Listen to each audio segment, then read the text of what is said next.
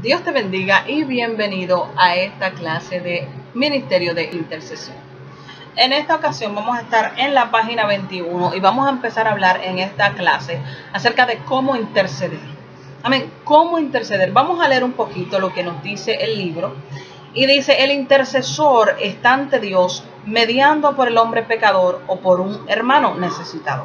Para ser eficaz, la persona que intercede por otra debe estar primero ante Dios en soledad para desarrollar la intimidad necesaria para poder cumplir con este papel. Ese es el punto número uno. Nosotros como intercesores tenemos que estar primeramente en una, en una buena posición con Dios, en una, tener una buena relación, una buena intimidad con Dios para poder ponernos en el lugar de otros. ¿Ok? Si Jesucristo no hubiese estado en una buena posición con Dios, Él no hubiese sido ese intercesor entre Dios y los hombres, Él no hubiese sido ese mediador entre Dios y los hombres. O sea, usted cuando intercede se convierte en un mediador, ¿ok? Usted está mediando entre la persona que a lo mejor está en pecado, pero que necesita la misericordia de Dios. Usted es el mediador entre esa persona y Dios. Usted se convierte en ese medio que Dios está usando para poder, para poder hacer un cambio en la persona por la cual usted está orando. ¿Ok? Entonces nosotros tenemos que estar en una buena posición con Dios y nosotros pretendemos convertirnos en ese mediador entre Dios y las personas que estamos orando o nuestra propia familia. Amén. Nosotros somos los mediadores entre nuestra familia y Dios estamos intercediendo por ellos, estamos poniéndonos en la brecha por ellos. Amén, así como Jesucristo está intercediendo por nosotros a la derecha, a la derecha del Padre. ¿Ok? Tenemos que entender que este es un papel muy importante. El papel del intercesor es un papel muy importante. Sin el intercesor las cosas no suceden. ¿Ok? Porque algo primero tiene que subir para que algo pueda bajar y manifestarse aquí en la tierra. Nosotros tenemos que entender que la oración es la que rompe los yugos, la oración es la que pudre los yugos de opresión del diablo que Él ha establecido sobre nuestros familiares, sobre las regiones, sobre los países, sobre las ciudades, sobre todo lo que, lo que Él está operando en este, en este tiempo acá en la tierra, ¿ok? Entonces ese es el primer punto. Usted necesita estar en soledad con Dios, tener una, una intimidad con Dios para poder ser un intercesor eficaz. Para usted poder tomar esa posición, usted necesita eh, haber cultivado esa intimidad con Dios, ¿ok? Un intercesor no es cualquier persona, ¿ok? Gloria a Dios. Vamos a seguir leyendo. Es sobre la base de esta relación íntima con Dios que nosotros podemos permanecer entonces entre Él y otros, sirviendo como un abogado e intercesor en su nombre. ¿Ok? A veces esta intercesión se hace con entendimiento. Esto ocurre cuando se intercede por otros en su propio idioma materno y se entiende lo que se está diciendo. En otras ocasiones, como le expliqué en páginas anteriores, es el Espíritu Santo quien habla a través de la persona que intercede en otras lenguas, orando directamente a Dios según su voluntad. Amén. Es muy poderoso cuando intercedemos en lenguas. Amén. Ya yo había tocado eso en clases anteriores. Eh, la importancia de orar en lenguas. Nosotros como intercesores tenemos que desarrollar el don profético. Es muy importante que usted desarrolle el don profético para que su intercesión sea eficaz, a mí usted pueda orar en lenguas y que usted pueda ver, tener visiones. Yo particularmente cuando estoy intercediendo tengo visiones, Dios me da visiones y, veo las cosas que Dios me quiere mostrar en, esos momentos. Y ahí yo intercedo eh, eficazmente. ¿Por qué? Porque Dios me está mostrando, me está dando visión, despierta, orando, intercediendo, estoy mirando lo que está sucediendo en el mundo espiritual y puedo interceder con más eficacia. Tenemos que desarrollar el don de visión, tenemos que desarrollar el don eh, de interpretación de estas visiones eh, que Dios nos da. Amén. Y si desarrollamos estos dones, nosotros vamos a poder ser unos intercesores eficaces. Amén. Gloria al Señor. Así que si usted no está registrado en el diplomado en ministerio de eh, el, diplomado en ministerio profético, regístrese, regístrese, yo le invito a registrarse porque eh, es importante desarrollar estos dones, es importante desarrollar el don profético, es importante desarrollar el don de ciencia, importante desarrollar el don de visión, ok, interpretación de sueños, Todo eso lo tocamos en el diplomado en ministerio profético.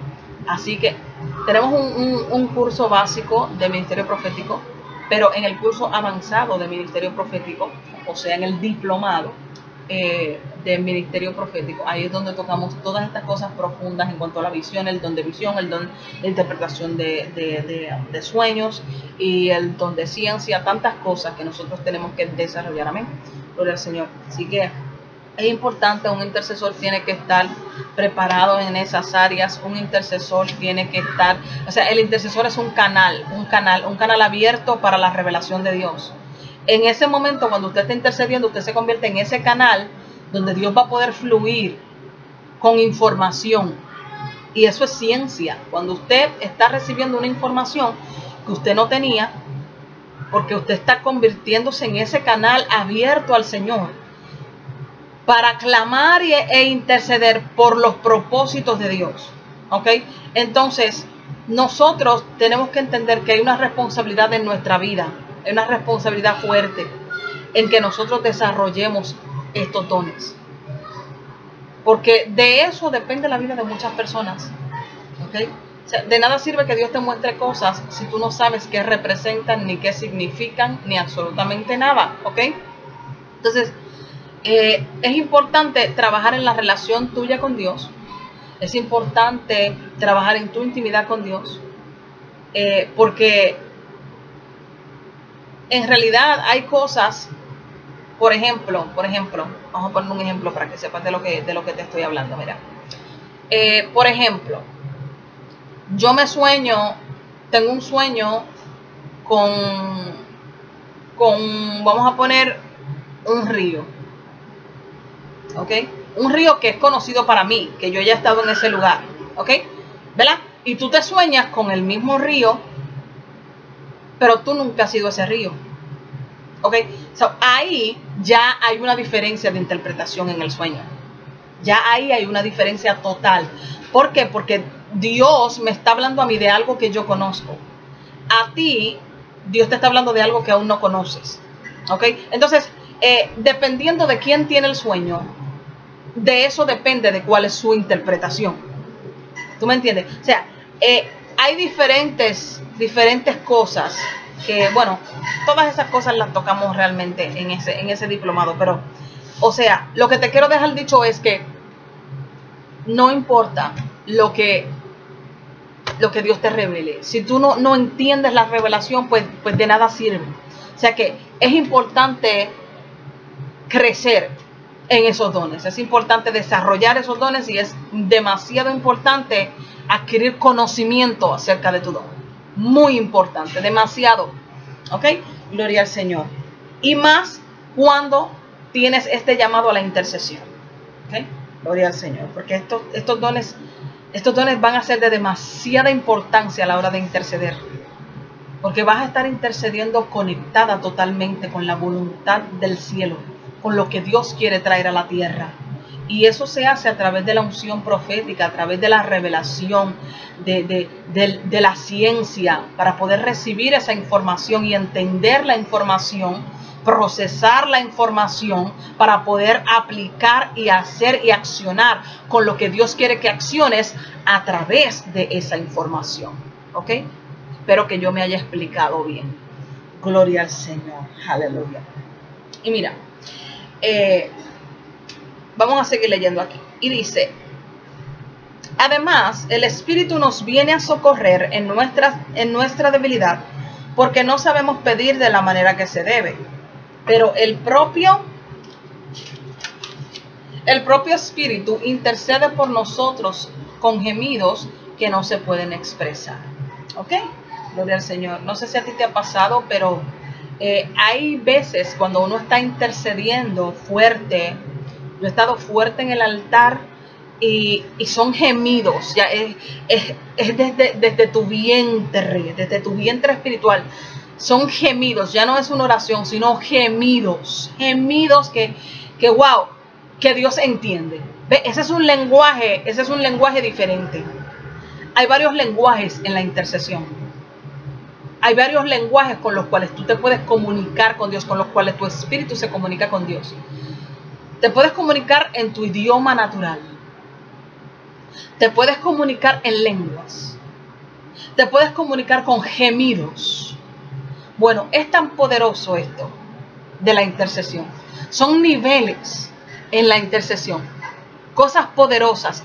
Mira, la intimidad con Dios es lo más poderoso porque tú experimentas dimensiones tan fuertes en Dios. Cuando tú te conviertes verdaderamente en un intercesor. Wow, bendito Dios. Yo he durado mucho, pero mucho rato, o sea, varias horas, solo gimiendo. Gimiendo, mi espíritu gimiendo. Wow, es glorioso.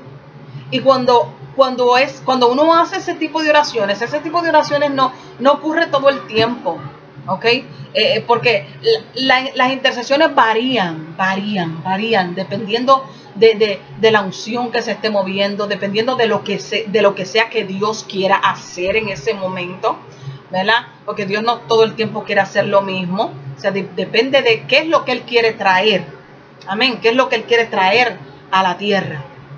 De eso depende el tipo de intercesión, amén, en los diferentes momentos de la vida. Y, wow, te digo que esas oraciones de gemidos, yo las he visto contestadas, pero así fácil, rápido, no fácil, porque nada es fácil. nada es fácil, y se lo puedes preguntar a Jacob. Jacob tuvo que pelear por cada una de las cosas que Dios le entregó. Él tuvo que pelear por cada cosa. Él tuvo que trabajar 14 años por la mujer que él quería. ¿Ok? O sea, él tuvo que luchar, tuvo que luchar por su primogenitura, para, para, para coger la primogenitura. Todo lo que él obtuvo en su vida fue peleado. ¿Ok? Peleado. Su cambio de nombre fue peleado. Él tuvo que pelear con el ángel. Nosotros, las cosas que vamos a traer del cielo acá a la tierra, vamos a tener que pelearlas. ¿Ok? Y yo le doy gloria al Señor que tú estás registrado o registrada a este diplomado en Ministerio de Intercesión. Porque la verdad es que aquí, juntos, vamos a, vamos a, a crecer en el Ministerio de Intercesión. Gloria a Dios yo tengo años de experiencia en el Ministerio de Intercesión y créeme que si yo no hubiese abrazado el Ministerio de la Intercesión, mi ministerio no estuviese en el nivel que está. No, no estuviese. Desde que yo estaba creciendo espiritualmente, yo tengo años desarrollando el ministerio de la intercesión. Desde antes de yo estar en el ministerio, ya Dios me tenía desarrollando el ministerio de la intercesión. Yo duraba horas en mi casa orando, orando, intercediendo, antes de que el Señor me llamara al ministerio.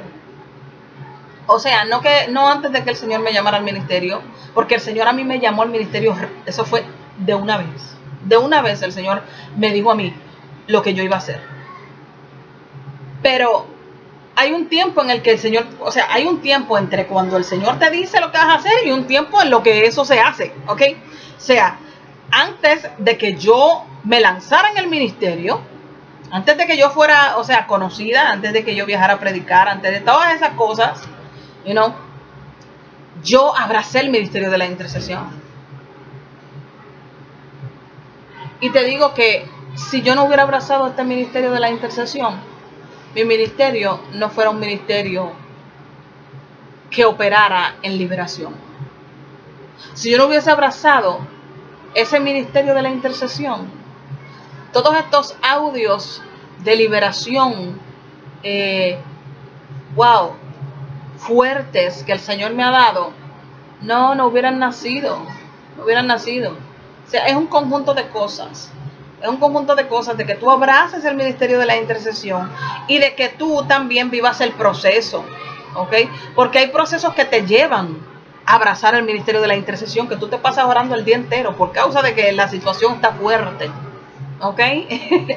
hay cosas que te llevan, te llevan. Dios tiene la manera de llevarte a abrazar el ministerio de la intercesión, que tú te encuentras a ti mismo orando las 24 horas del día. ok, gloria al Señor. Pero es una bendición, es una bendición, de verdad que sí.